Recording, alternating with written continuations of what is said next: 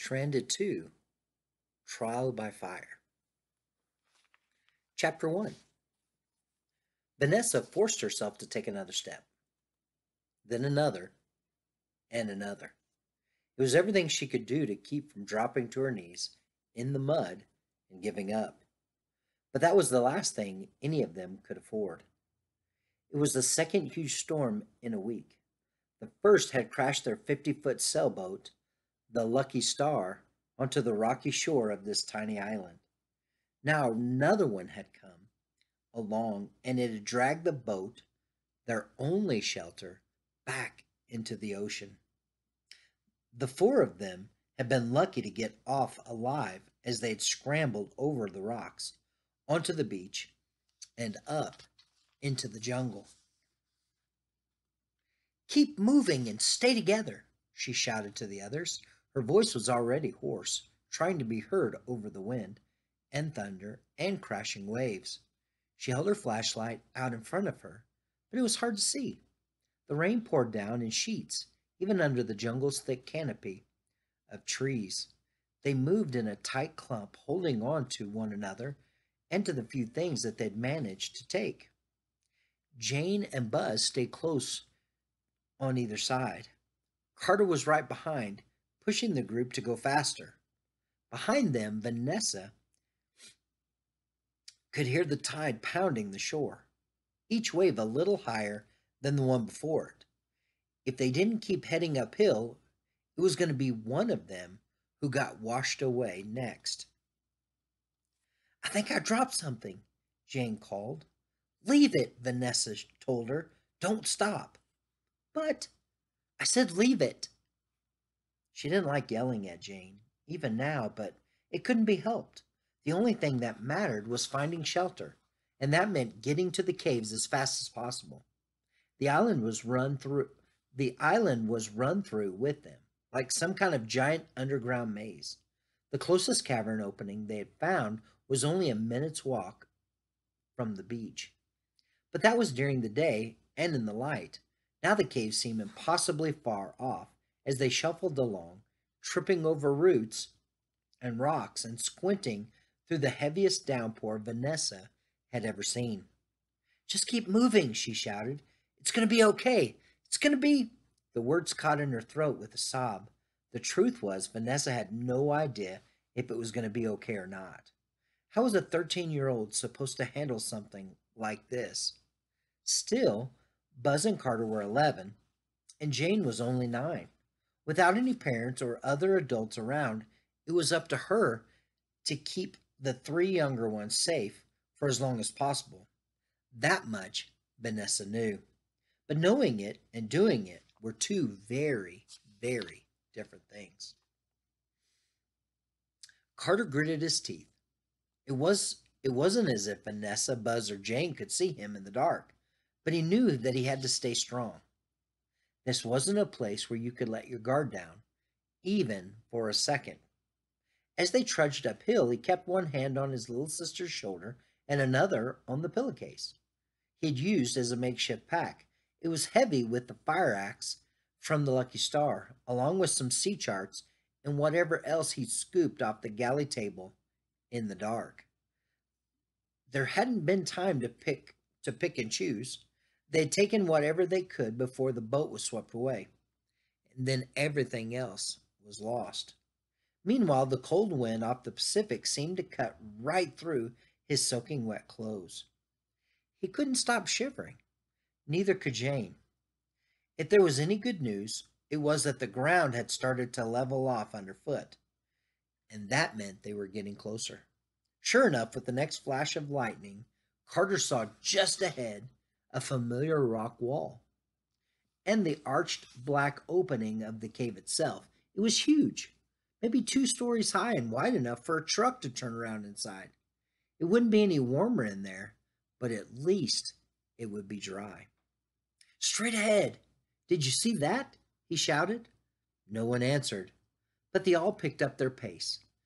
The small beam of Vanessa's flashlight led the way across the last 20 yards of flat, muddy ground as they passed under the rock overhang and into the cave's entrance. Carter felt the rain lighten to a sprinkle and then down to nothing at all. Finally, a break.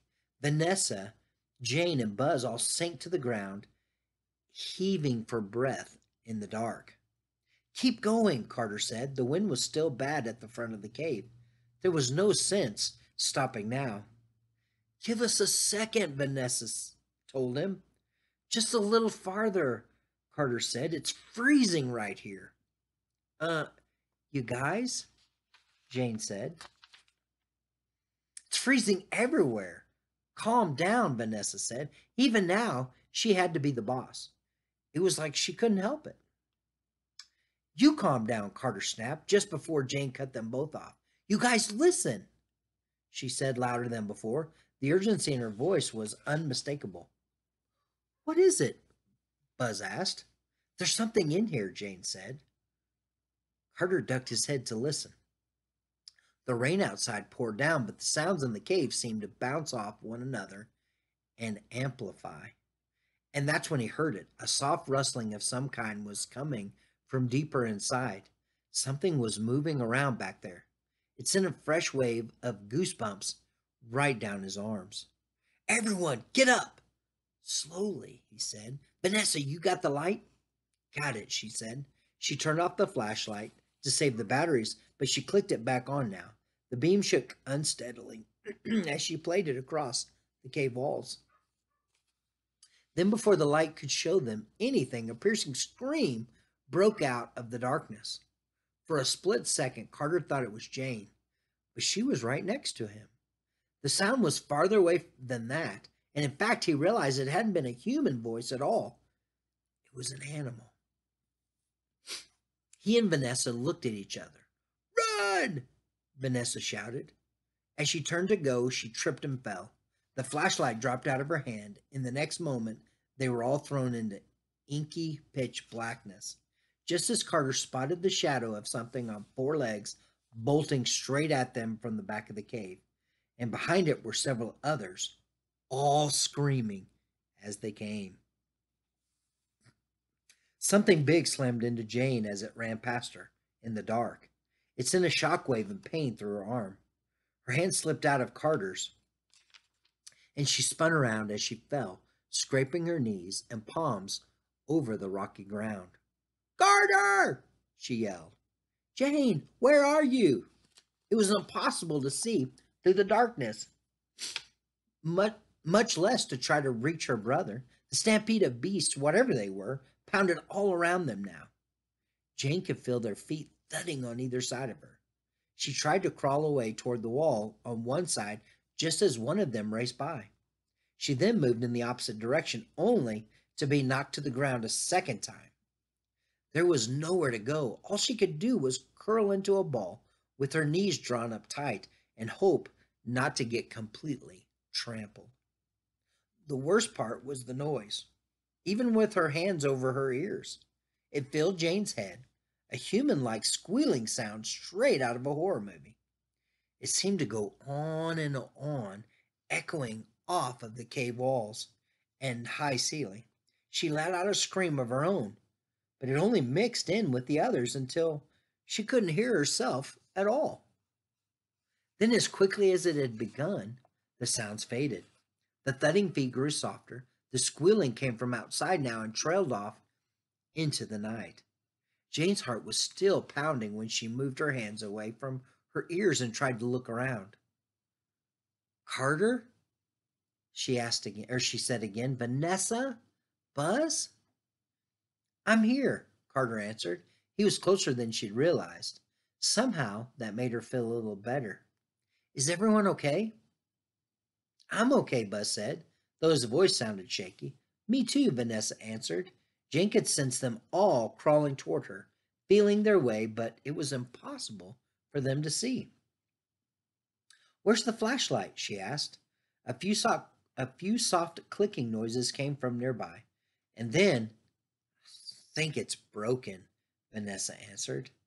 This wasn't like any darkness Jane had ever experienced at home, not like when she turned off her bed bedside light to go to sleep at night. At least, at least then you could see your hand in front of your face. Here, the only comfort at all came from the sound of the others' voices. As soon as Carter found her, she wrapped her arms around him and held on tight. She squeezed her eyes shut in the dark, trying to cut off the tears, but they wouldn't stop. After everything that had just happened, it was hard not to wonder what else? What next? Vanessa and Buzz were close behind. They clustered in tightly now with Carter and Jane. All four of them were still shaking badly. What were those things anyway? Carter asked. Wild boars, Jane answered. That's what they had to be. She'd seen pictures of them back home and even a video about boar hunting in the South Pacific. The boars were like wild pigs, big and strong, with tusks and sharp teeth. It was lucky none of them had been hurt or completely trampled. Jane shivered with the thought of what could have happened. They were probably trying to get out of the storm, too. I'll bet we took their spot. Well, what if they want it back? Buzz asked. Let's hope they don't, Carter answered. There wasn't much to say to that. All they could really do now was stick close together, wait for daylight, and hope for the best. Um, as Jane hunkered in with the others, her teeth chattering in the dark, wet clothes sticking to her skin, it all started to sink in. These last three days on the island had been the worst of her life, by far, the worst of any of their lives. They'd barely had enough food, and they'd practically killed themselves finding water. So far, there had been no sign of rescue and no way of knowing if help was coming anytime soon, or even at all. It had been just the four of them living alone on the wreck of the Lucky Star. Now even the boat was gone, along with the last of their food and almost everything else they had had on board, all of which can mean only one thing their lives were about to get harder. Much, much